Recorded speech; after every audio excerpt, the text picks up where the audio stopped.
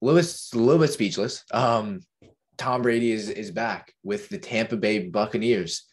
Uh, uh, Ian Rapoport tweets: Tom Brady is back. A short retirement.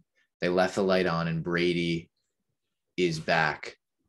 Uh, I, I really don't know what to say. I mean, at the end of the day, what I think is so funny is that we all saw this coming. What's shocking is it's this early. That's what's, you know, if someone's like, oh my God, they were, no, I no way I didn't know Tom Brady was going to come back. We knew he would.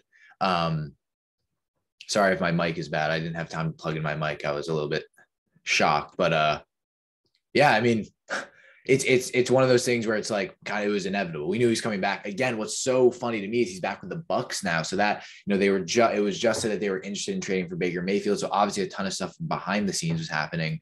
Um, but he's back with the Tampa Bay Buccaneers. Tom Brady's out of retirement, uh, and it's just great. I mean, I don't I really just don't know what to say. But uh, obviously it's just uh crazy. Um, welcome back, Tom. Was retired for like a month, uh, and uh, now he's back. So now it kind of comes down to when will he retire again? I guess. But now the Bucs are back, so now the Bucs are back in favorites for Super Bowl.